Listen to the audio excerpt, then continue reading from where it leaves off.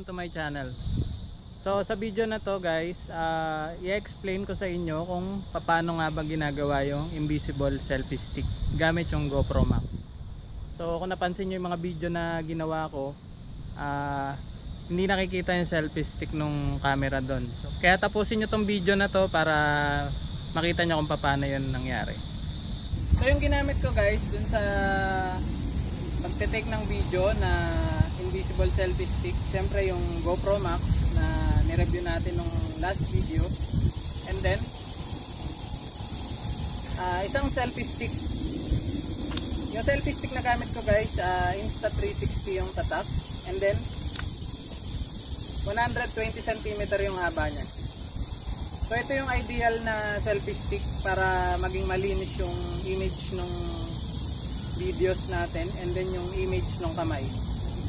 Kapag gagamit tayo ng GoPro Max, uh, madali na lang gawin yung invisible selfie stick.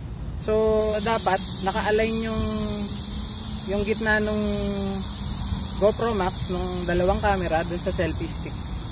Lahat kasi nang nandito sa part na to ng camera ay hindi makikita ng, ng dalawang camera.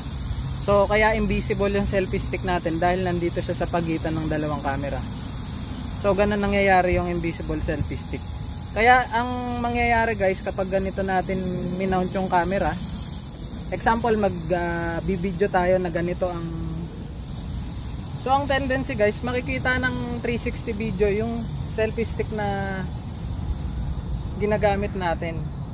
So mali kasi yung ano, mali kasi yung pagkaka-mount natin ng camera kapag gano'n.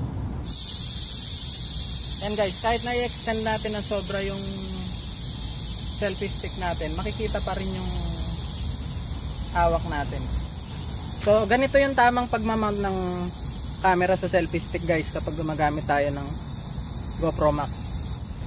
And then ngayon, papakita ko sa inyo kung paano ko minount yung selfie stick and then yung GoPro Max sa bike kung paano ko nakuha yung videos na ipapakita ko sa inyo mamaya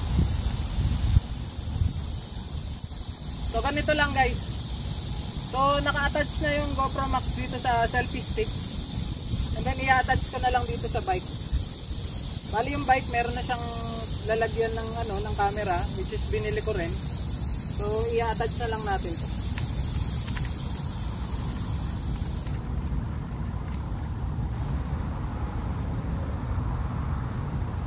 So kapag naka-attach na siya guys, ah, depende sa inyo kung gaano kahaba yung gusto nyo. So mas mahaba, mas maganda yung footage na makukuha nyo guys. So ganito kahaba yung ginamit ko. So ayan guys, ganyan kahaba yung ginamit ko.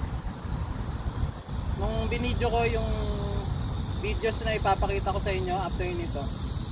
So ito guys, tingnan nyo kung paano yung ano.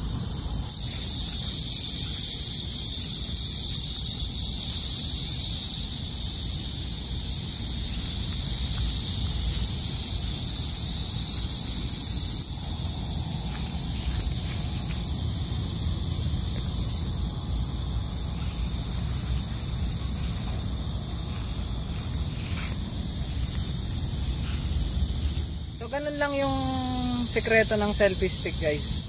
And then dun sa mga gusto ring mag vlog dyan guys uh, maganda rin gamitin yung GoPro Max na pang vlog kasi du uh, dual camera na siya 360 na rin siya. So less hassle para gumamit ng dalawang camera. Uh, kahit isang camera lang makakapag vlog ka na ng maayos. So meron akong ginawang video guys na ipe-play ko. Sana ma-enjoy nyo and sana magustuhan nyo yung video. And then sana guys mag ano kayo mag subscribe kayo sa channel ko para sa mga susunod na videos ko. Click nyo na rin yung notification bell. And then ingat tayo lagi guys uh, delikado ngayon. So yun lang sa video na to guys.